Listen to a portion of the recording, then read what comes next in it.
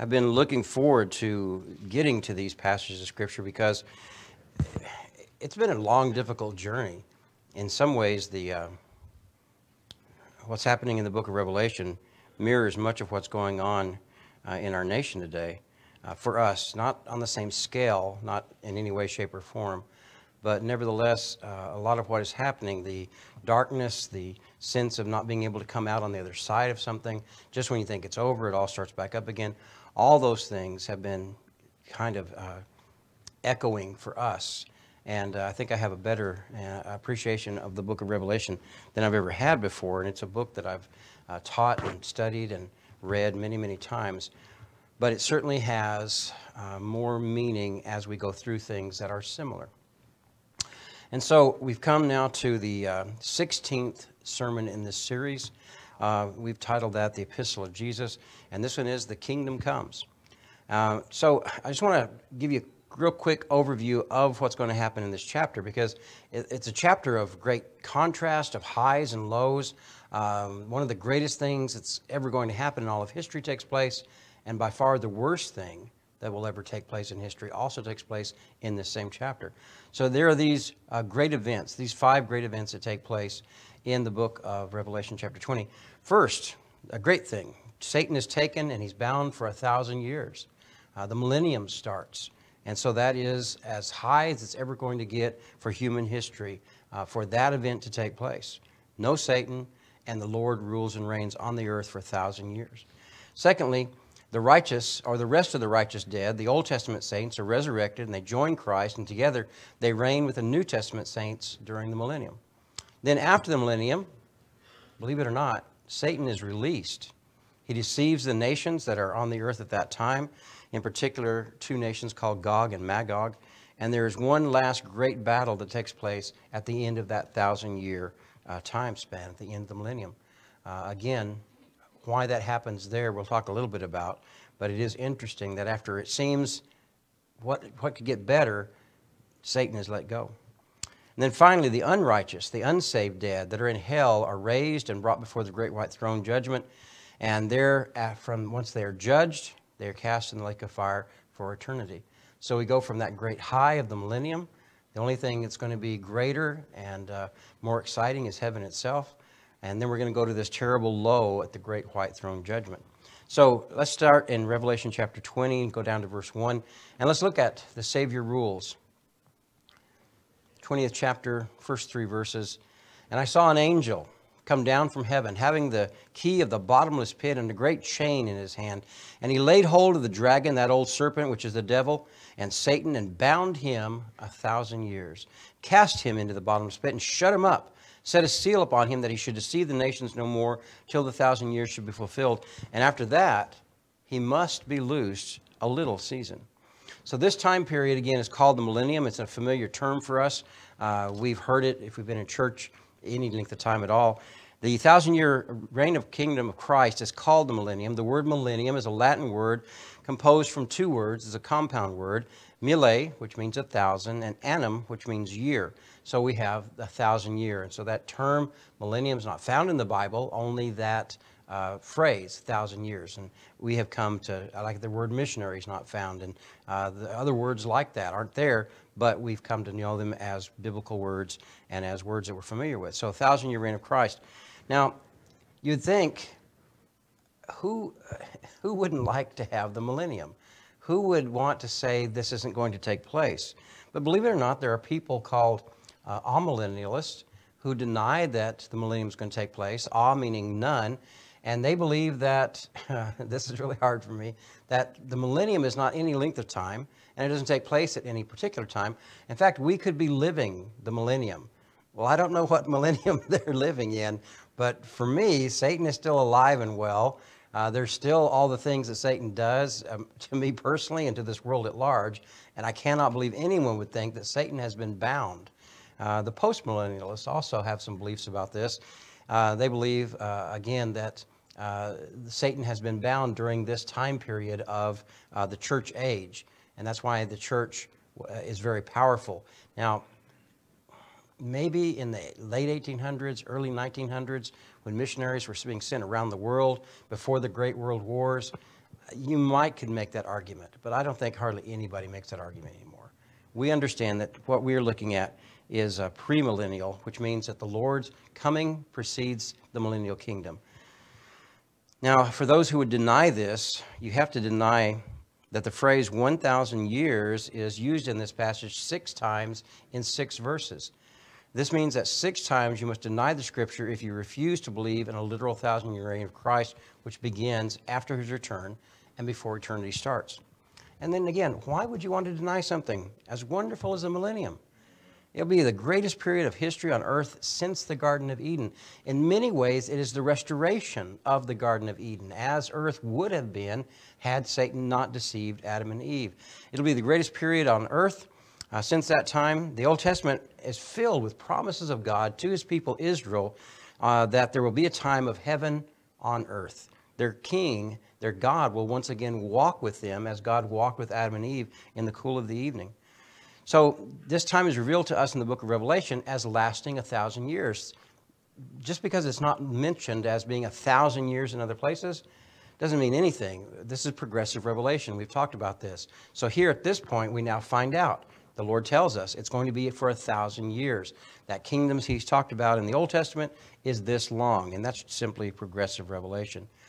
And so it takes place after the Messiah, the hero that defeated the beast and the dragon, saves Jerusalem. So on that great military victory, the millennium starts, as you would think would be appropriate. And there's many places in the Old Testament that describe the millennium.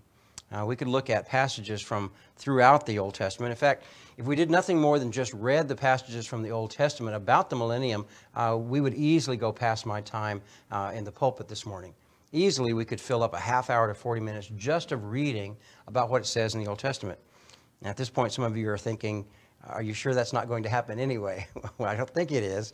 I was very careful about trying to pull out just particular highlights. So let me share some just some highlights with you because it really is. If all we had was a book of Revelation, we'd know it's a thousand years. We know that Satan would be there, and we could use a little bit of imagination to think how wonderful that'd be. But thank the Lord for prophets like Isaiah and Jeremiah and Ezekiel and Daniel who filled in the details, and there's such wonderful things that they tell us about this time of reign. So, Isaiah chapter 2 and verse 2. In the midst of the Lord reprimanding his people, telling them they're going to be taken away into captivity, he also says, But I'm going to bring you back. And it says in chapter 2, verse 2 And it shall come to pass in the last days that the mountain of the Lord's house shall be established in the top of the mountains, and he shall be exalted above the hills, and all nations shall flow into it. And many people shall go and say, Come ye, let us go to the mountain of the Lord, to the house of the God of Jacob, and he will teach us of his ways, and we will walk in his paths. For out of Zion shall go forth the law and the word of the Lord from Jerusalem, and he shall judge among the nations, and he shall rebuke many people. And then this passage you're familiar with, and they shall beat their swords into plowshares, and their spears into pruning hooks. Nation shall not lift up nation against sword against nation, neither shall they learn war anymore that is engraved at the United Nations, but they left out God. and so don't expect it to happen until they bring God back in, until God brings it in himself. Isaiah chapter 35, the entire chapter deals with this. I just want to look at uh, verses uh, 10, uh, 5 through 10. I think that's what I've got. Then the eyes of the blind shall be opened, Isaiah 35, and the ears of the deaf shall be unstopped.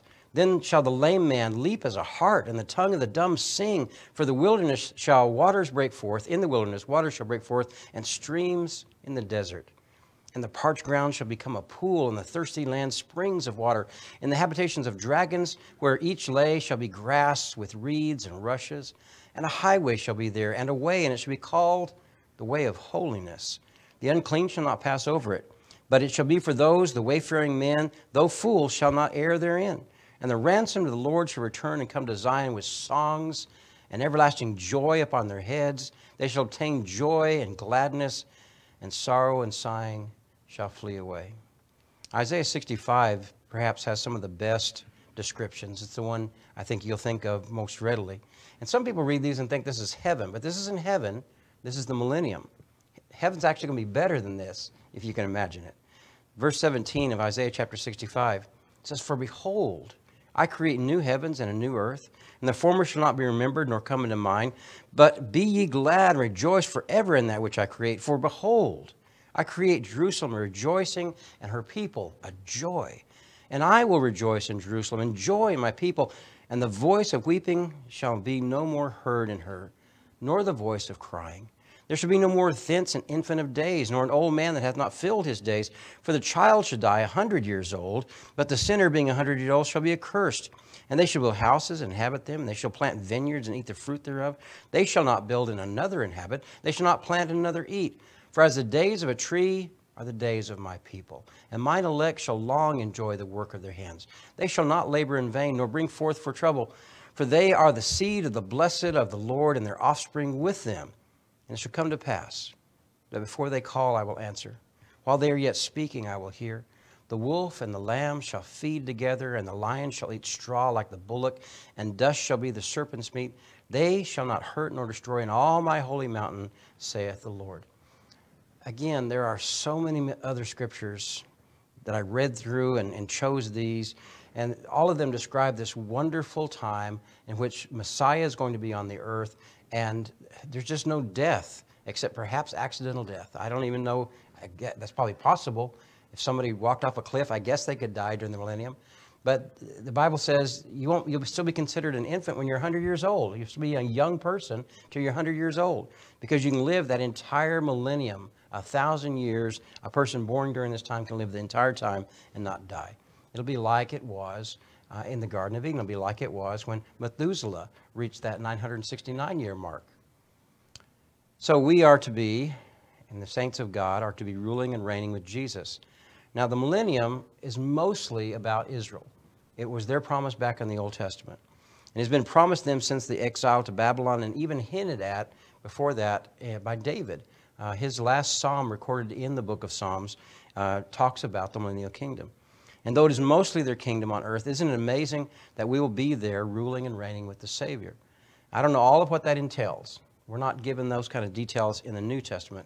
But I knew what, I know that only heaven will be more wonderful than Christ on earth, sitting on the throne of David, and all the people of the earth coming to hear him. Won't it be unbelievable during the millennium that instead of trying to get people to come to church, instead of standing out in the, in the Athens marketplace or some street corner trying to get people just take a track, won't it be amazing they're just going to come flooding into Jerusalem. They're going to hear about Jesus and they're just going to come running. You know what our job may just be? We'll just be ushers. we'll just stand there and say, right this way to Jesus. Come on, keep it moving. Right this way. Come on. And it'll be so different. Wouldn't it be great? Can you imagine how many people are going to be saved during the millennium? First, there's going to be a population explosion. There's no sickness, there's no death, uh, there's no hunger, there's no shortage of water. The earth will flourish as it did in the Garden of Eden, but there won't be a serpent, and there won't be sin in that sense, and there won't be death in that sense. So there will be billions upon billions of people born during this time. They will replenish the earth after the terrible time of the tribulation, and all those people will want to come and hear Jesus. And they will hear Jesus himself not some poor old preacher trying to do his best to tell them about Jesus, but they will see and they will hear him. They will see and hear the one who spoke as none other before ever spoke. They will hear him as Galilee, Nazareth, Sychar, Jerusalem, and Jerusalem, and Jerusalem, Jer- Jericho, and Jerusalem did when he first came. Back then, in just about two years, he had thousands of followers. Thousands of people were trying to follow him after he fed them on that uh, miracle of the loaves and the fishes.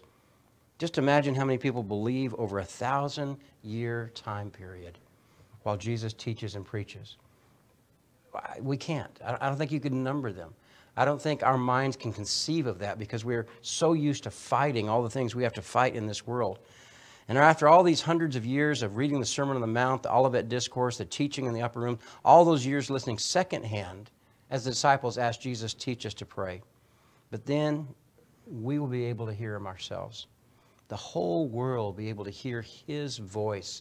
He will speak and they will hear. People of that generation will look at us as we're ushering people into the Lord's presence, I guess. And they'll say, they'll look at us and they'll say, See that guy right there? See that lady right there? They believed before Jesus came back. What faith they must have had. That's us. That's uh, this age we now live in, a time of walking by faith and not by sight, and great is the reward for those who keep that walk and hold to that faith.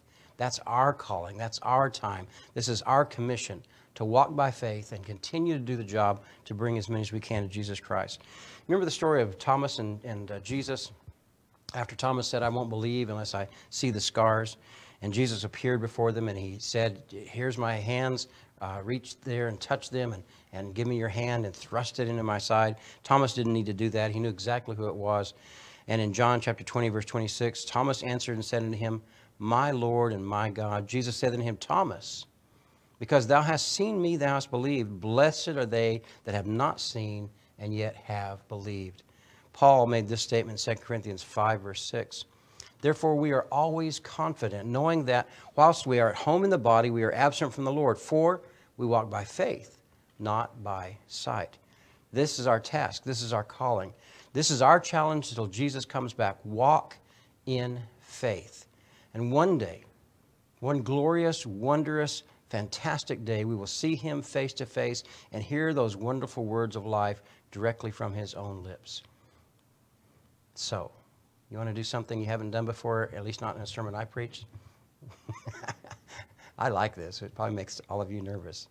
So we're going to sing, Won't It Be Wonderful There? Because that's what this is describing. And I'm going to ask you to join me on the chorus of this song and just sing along with me. I think most of us know it.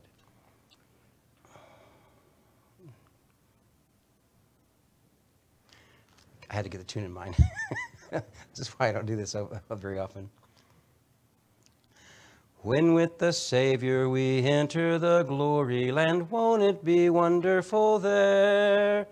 Ended the troubles and cares of the story land, won't it be wonderful there? Join me on the chorus. Won't it be wonderful there? Having no burdens to bear, joyously singing with heart bells all ringing. Oh, won't it be wonderful there? Walking and talking with Christ the supernal one. Won't it be wonderful there? Praising, adoring the matchless eternal one. Won't it be wonderful there? On the chorus. Won't it be wonderful there? Having no burdens to bear joyously singing with heart bells all ringing. Oh, won't it be wonderful there. Hey, Amen. Even at my age, another first. That's, that's something I count on. So let's go to the second part, Revelation chapter 20, verse 4. After the Savior rules, the saints reign. I want to spend a little more time there. Verse 4, of Revelation chapter 20. And I saw thrones, and they sat upon them, and judgment was given to them. And I saw the souls of them that were beheaded for the witness of Jesus, and for the word of God, and which had not worshipped the beast, neither his image, neither had received his mark upon their foreheads, or in their hands, and they lived and reigned with Christ a thousand years. For the rest of the dead lived not again until the thousand years were finished. This is the first resurrection. Blessed and holy is he that hath part in the first resurrection. On such the second death hath no power, but they shall be priests of God and of Christ and shall reign with him a thousand years. So this is the resurrection of the righteous. All of the righteous, all of the saved, of all ages and times, will be resurrected during the first resurrection. But we need to understand that first here, as it's used, is in regard to the second resurrection that's mentioned and also in this passage. It's not first as the very first resurrection, resurrection that ever took place. Uh, the first resurrection uh, that we have in the Bible was by, done by the power of God in the Old Testament under Elijah and Elisha. Uh, you remember the story of Elisha. They just laid a bunch, a dead man in his grave. He touched the bones and he came alive. And so, and Elijah uh, raised the, the widow's son. So, this is not the first resurrection. It's not the first time that people have been raised from the dead. Jesus stopped a funeral procession and raised a son to his mother and brought back to life a precious daughter to her parents. Lazarus was raised four days after he was dead. And all of Jerusalem heard of that miracle. It was, it was a, a the pivot point for the last week of Jesus' life. Jesus was the first fruit of all the resurrected, and even when Jesus was crucified, some graves were open when Jesus was crucified, and they said that the saints were seen and gave testimony. Paul and Peter both were able to bring back to life disciples of Jesus during the early days of the church. So this is not the very first resurrection, it is the first in reference to the second. So uh, it's not the sense of the chronology. It is at first as regards the book of Revelation as contrasted with the second revelation or resurrection. The first resurrection begins at the rapture of the saved during the church age. It continued with the resurrection of the two witnesses that took place as the whole world looked on in Revelation 11. Next, here we have the resurrection of the faithful heroes of the tribulation, martyred by the beast and his followers. This will occur soon after Christ returns to earth, Revelation chapter 20, verse 4. The last resurrection will be that of the Old Testament saints also at this time, though not specifically spelled out here, but we read of it in places like Ezekiel, Daniel, and uh, Isaiah. So let me show you Daniel chapter 12 and verse 1. And at that time shall Michael stand up, the great prince, which standeth for the children of thy people, and there shall be a time of trouble such as never was since. There was a nation even to that same time, and at that time thy people shall be delivered, every one that shall be found written in the book. And many of them that sleep in the dust shall awake, some to everlasting life, and some to shame and everlasting contempt. And they that be wise shall shine as the brightness of the firmament, and they that turn many to righteousness as the stars forever and ever. In Ezekiel chapter 37, verse 11, then he said unto me, Son of man, these bones are the whole house of Israel. Behold, they say, Our bones are dried, our hope is lost, we are cut off from our parts. Therefore prophesy and say unto them, Thus saith the Lord God, Behold, O my people, I will open your graves and cause you to come up out of your graves and bring you into the land of Israel. And you shall know that I am the Lord when I have opened your graves, O my people, and brought you out, up out of your graves, and shall put my spirit in you, and ye shall live, and I shall place you in your own land. Then shall you know that the Lord has spoken it and performed it, saith the Lord. So that resurrection was promised. The people uh, in the Old Testament believed it. They looked forward to it. They didn't have all the details. They didn't know that there was going to be a resurrection of the New Testament saints that actually would precede theirs, but it's all considered part of that first resurrection, starting with the rapture and the graves opening, all the way until this resurrection in Revelation chapter 20. And you must also understand this when the Bible's talking about resurrection here, it's a bodily resurrection. John has already seen the saints, Old Testament and New Testament, in heaven with the Lord as souls, as spirits. But we are created as a body and a soul. And Jesus, in his resurrection, was not just a spirit. He actually ate some food, some honeycomb and some fish, to prove to his disciples he wasn't just a spirit. And so when he was resurrected as a body and soul, we should understand that as Jesus is resurrected, we will also be resurrected. We will have a body and soul. So when it talks about the resurrection, it's talking about that body coming back, renewed, remade, perfect without sin, and our souls being joined to it again, so that for all eternity we are as God created us, body and soul. Our souls, which have been absent from the body but present with the Lord, will now be reunited with a perfect, sinless, ageless body. And yes, I will have hair. Some of you won't recognize me. I may not recognize some of you, but that body is not going to be this body.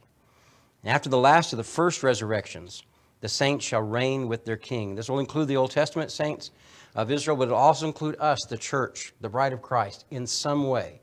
We don't have as much detail, but we do have what Jesus told the disciples in Luke chapter 22 and verse 29.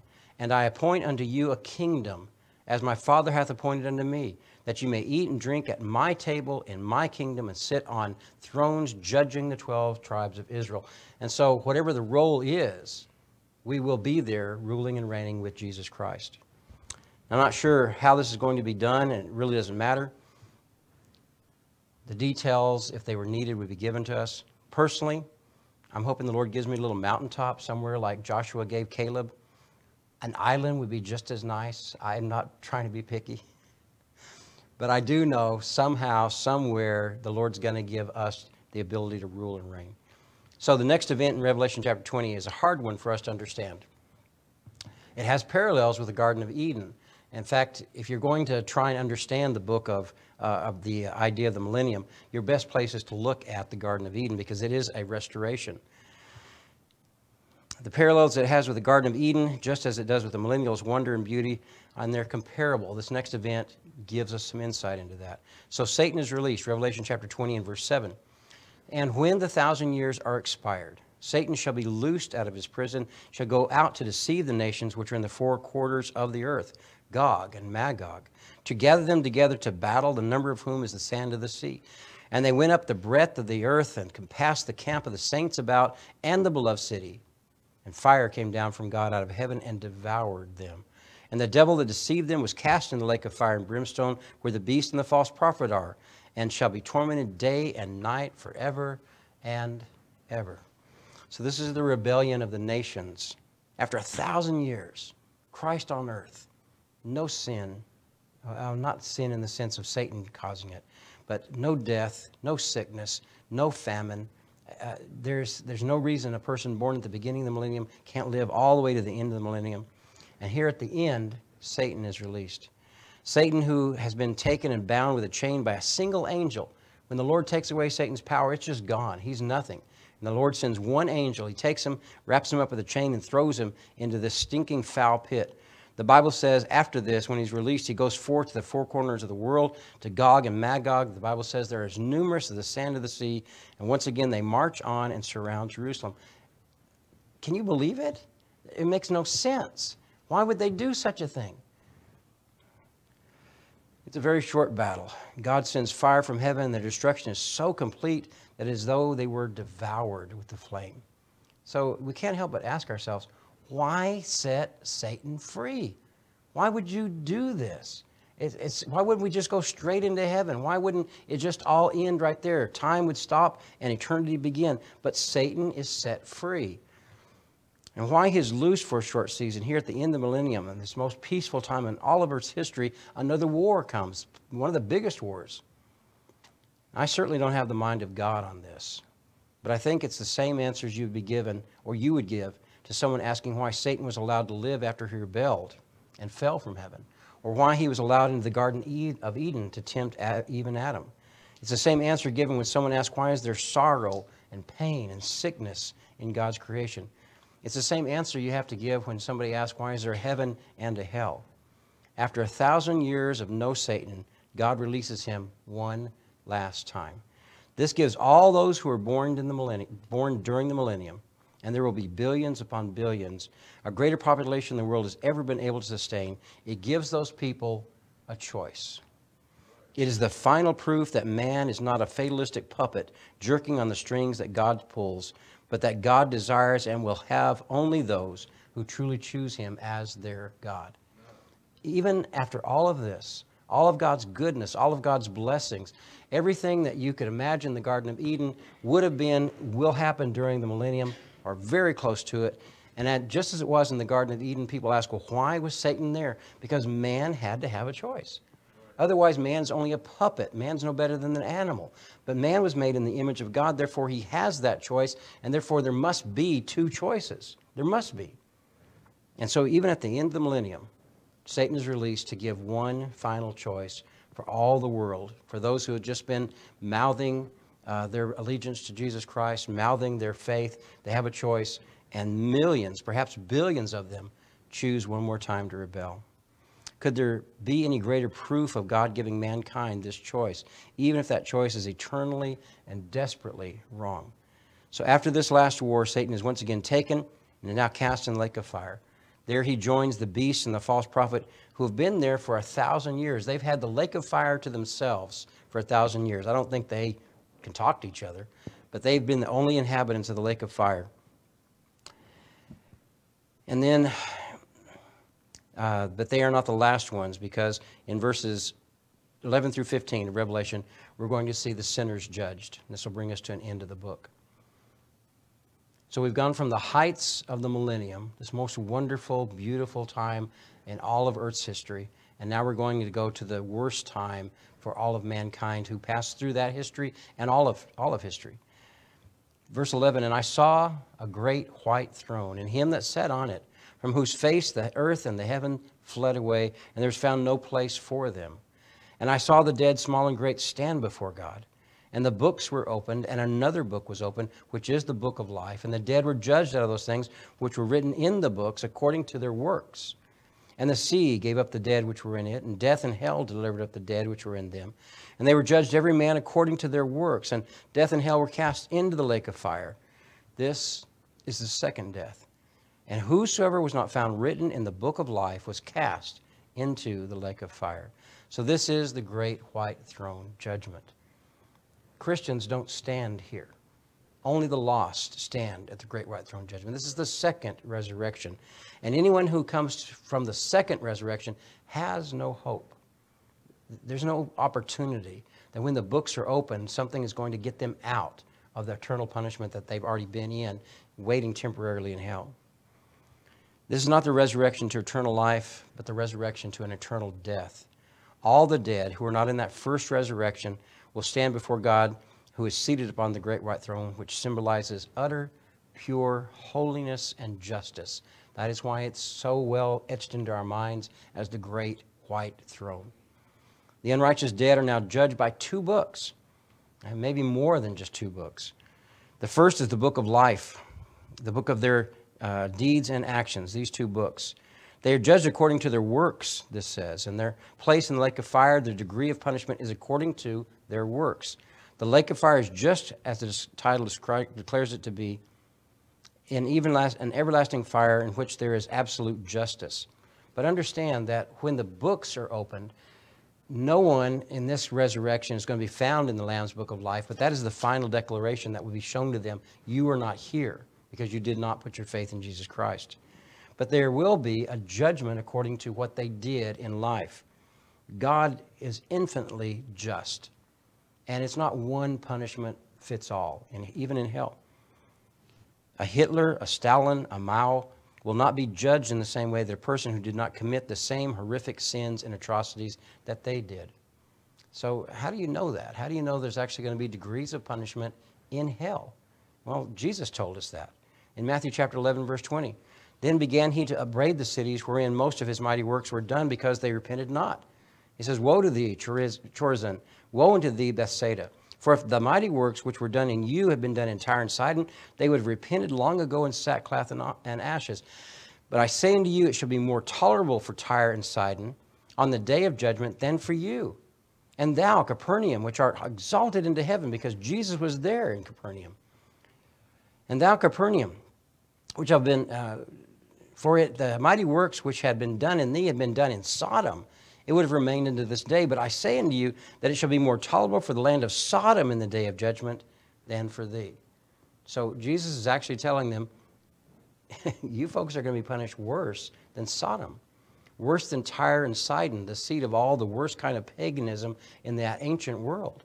He says it's going to be worse for you because Jesus was there among you and you could hear him and see him and, and know the works that he did, and you still rejected him.